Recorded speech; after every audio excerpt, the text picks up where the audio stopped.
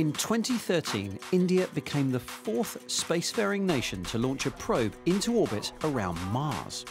And unlike those that came before them, they did it on their first attempt.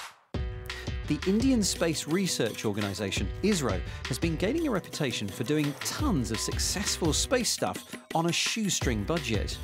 Their Mars mission came in at just $74 million. That's less than it cost to make the film Gravity. And in February this year, they made history again by launching a record 104 satellites on a single rocket. It could just be that India has created the perfect combination of big brains with big space experience, but a mentality for doing things on the cheap. Just the sort of place you might go if you wanted to, say, land a robot on the moon for the space equivalent of small change. How confident are you that this will work?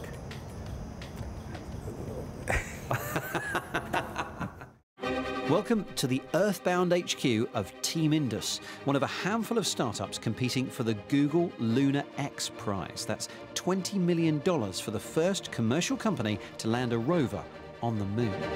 December 2017, blast off. The Team Indus spacecraft goes into two days of Earth orbit and then boom, four and a half days to the moon.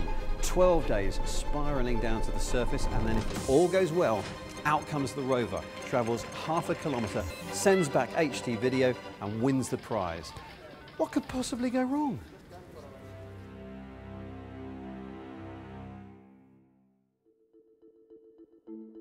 Rahul Narayan is the co founder of Team Indus, and he's been here since the very start of this project, way back in 2010. And at that point, you had no idea how you were going to achieve yes, it. Yes, I googled and uh, figured out how Wikipedia, what did Wikipedia have to say about landing on the moon. So you, yes. You did an internet search yes. on how to land on the moon. Absolutely. uh, and did it have any useful information? Uh, yes, it said there have been 85 attempts, and I think uh, every second attempt failed to the moon. Six years later, there are around 100 people working very hard here, and it certainly looks like they know their space stuff. Star Wars, in particular. Even the toilets are appropriately labelled. And they've built themselves all the things that a serious space company should have, like a mission control room, a model lander that makes smoke, and a simulated lunar surface complete with a rover to go in it. So, what do you use to simulate moon dust? You could go to an expensive lab and, and try and buy lunar simulant. We just uh, went to a stone quarry and asked them to give us the milling output. That's what this is. This is about 150 microns. It has electrostatic properties, which we're not able to replicate. It's supposed to be very, very electrostatic. So that means it's going to stick to the rover. That is correct. That is one part of the analysis. Going to all the joints. It's going to get into every perforation, the lens of the camera. It's going to get in everywhere. And just like national space agencies, testing every component and simulating every stage of the mission is a huge part of what they're doing here. We, we're making sure we do everything right.